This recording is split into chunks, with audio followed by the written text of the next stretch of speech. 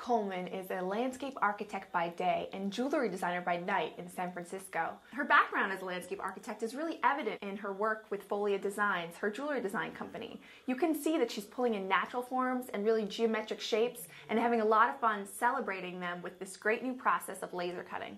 The pieces she creates are both organic and precise. It's almost like wooden lace, if you can imagine that intricate design, very finely wrought. And they're very wearable. As you can see, there's a little bit of shadow and a lot of depth to these pieces, so they're very unique and beautiful. She's actually achieving that depth through her process. The burning of the bamboo wood is actually creating this dark edge, which allows her designs to really pop off your neck and ears. There's a combination of wood, metal, and fire in all of these pieces, and Jessica took us behind the scenes to show us how it's done. My process involves digitally drafting all of my designs on the computer and then laser cutting them at a member based workshop in San Francisco.